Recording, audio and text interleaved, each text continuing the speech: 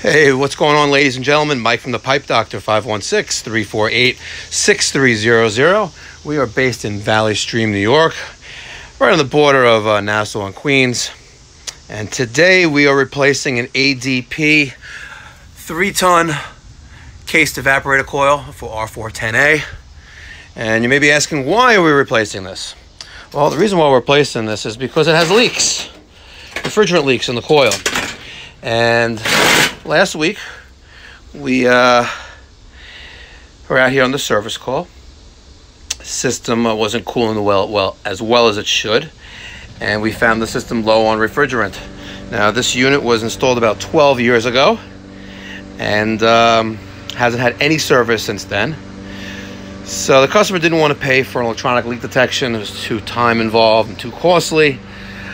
So we elected to put in just a small amount of UV dye in the system, gave them a, a pound and a quarter of R410A, and said, listen, you know what, when, it, when it's not cooling again, we're gonna come back and find the leak.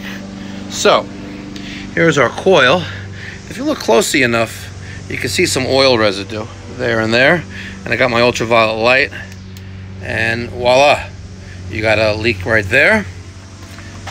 And you have another leak right there. So in this case, it was out of warranty. They got a Trane XL16 condenser outside.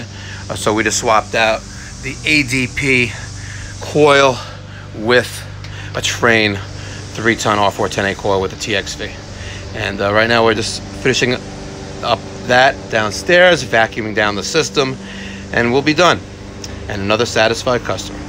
Thank you very much for watching.